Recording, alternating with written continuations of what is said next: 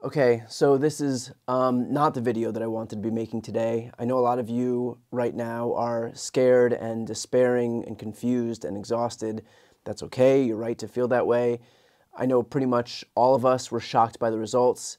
Um, we're obviously going to spend the next few days and weeks and months, I'm sure, autopsying what happened, and there's going to be the usual finger pointing from people who are going to say that they knew better. But to be honest, I think that the Harris campaign did run the best campaign they could have possibly run given the circumstances. I also think that more broadly, there are a lot of massive structural disadvantages that Democrats are contending with right now that, in retrospect, made winning this election very difficult. First and foremost, something that I've been beating the drum about for years now the right has a propaganda machine at its disposal that hums on for 24 hours a day on TV and radio and TikTok and Facebook and YouTube and Rumble and Discord servers everywhere that pump out right wing propaganda on an endless loop. The top 20 podcasts in America include Joe Rogan, Tucker Carlson, Theo Von, Dan Bongino, Candace Owens, Megyn Kelly, and Ben Shapiro. You know who, who we've got on the left on that list? The Daily and Pod Save America. All the while, Democrats continue, for some fucking reason unbeknownst to me, to pretend that mainstream media is some partner in democracy, that they're on our team. I don't know how much clearer I can say this. They are not on our team. Corporate media exists to serve its shareholders. It is a business before it's anything else, certainly before it's some protector of democracy. And yet, still, our side has decided that uh, when there's a big interview, go to mainstream media. When there's news, give it to mainstream media. Let's keep validating the same outlets that continuously undermine us at every single turn. Sometimes I, I have to beg politicians for interviews uh, for my channel for months and months and months and months and still don't even hear back.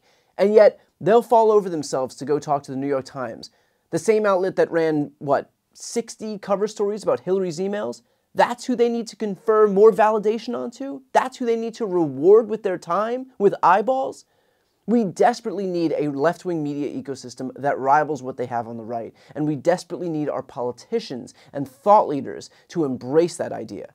The fact that they don't means that we will continue to lose people other than the same couple of million people who tune into mainstream media every day. People who, by the way, are already Democratic voters, already high information voters, and don't need any more persuading. That is not where the persuadable people are. Find people where they are, and until we do, we will keep losing to the right. The other barrier that we face in this election is that we are more broadly in a period of global high inflation that came about after COVID. And while some of us, you know, are privileged enough um, to be able to say that our top issues in this election are democracy and climate change, things like that, for most people in this country, people who, by the way, can't afford a $400 emergency, the cost of stuff going, stuff growing up in the grocery store was their top priority. And when you're mad, you blame the people in charge. And the people in charge right now are the Democrats. For a lot of people out there, it's as simple as that. And that has happened across the world. In France, Marine Le Pen basically neutered Macron. Uh, it happened to uh, Sunak in the UK. Modi lost his majority in India, South Africa, Senegal. This was a miserable environment for incumbents, not just here in the US, but across the entire planet. And I know there's a lot of talk about, you know, was it the right move to put Kamala in? Could Joe Biden have won? Should there have been a primary instead when he dropped out? Should Biden have just announced that he wouldn't run again immediately after winning? And we can Monday morning quarterback this thing until we're blue in the face, but the reality is that I don't know if the best candidate on the face of the earth could have won in this political environment. Kamala ran a great campaign, Donald Trump ran a fucking miserable campaign. Dude literally suggested that Nancy Pelosi was a bitch, what, the day before election day? His campaign trotted out a comedian that told Puerto Ricans their island was garbage and he needed to be able to reach out to Latinos. But the reality is that Democrats are in power and they were going to be punished by people looking to punish those who are in power, just like they're doing across the entire world. That is the environment that we're in right now. So, look, um, we're going to have days and weeks and months of autopsying here to figure out what went wrong. Um, we're going to make changes. I'll probably figure out what changes I can make um, so that I can be most useful. We need to bring younger guys into the fold uh, on the left. I've joined Twitch this week to do exactly that. If you're on Twitch, follow me there, please. Um, I'll try to do whatever I can to be useful um, and to try to compensate for feeling like I could have done more. Um, but look, we're going to have, uh, again, a lot of time to talk about what went wrong, but here's some practical advice for right now, for today. Take care of yourself. Make sure you have a community of people around you. Eat and drink and sleep. Um, you're no use to the movement if you are exhausted uh, and sleep deprived. And I know this is going to be a hard one, but it's the most important. Don't disengage. Take some time, take days or weeks, take the holidays, but don't check out completely. Do not reward the worst people by giving them exactly what they want.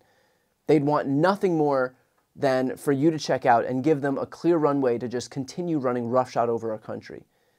The reason the ACA still exists today is because we all came together in 2018 and struck the fear of God into anybody who threatened it. If no one was paying attention, if people checked out because Donald Trump had just been elected, then 50 million Americans wouldn't have health care right now. So please do not check out. We need every person for the fight ahead. And um, I'll leave you with this some semblance of hope if we can scrounge together something.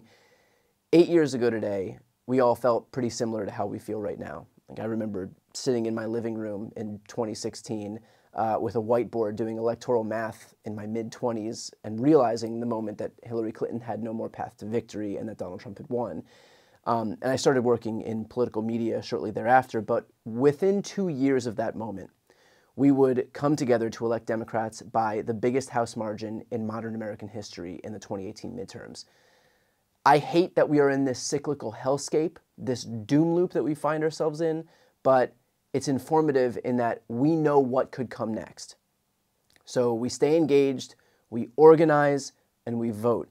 And I know that's cold comfort right now and might feel reductive to say that all we have to do is vote, especially in light of what we just saw. But I promise you, I promise you that in two years, it will happen a lot of the people who voted for Donald Trump this time either don't remember what it was like when he was in office, uh, are looking back with rose colored glasses, are buying some revisionist history, or weren't even old enough to experience it, but they'll see the chaos that comes with it. I can promise you that they will experience that chaos and come to regret it. Enough people will. And they'll do what we did in 2018. But that means that we have to stay in this fight. It means that we can't disengage do not give up here. Take a break, take all the time you need, but don't give up.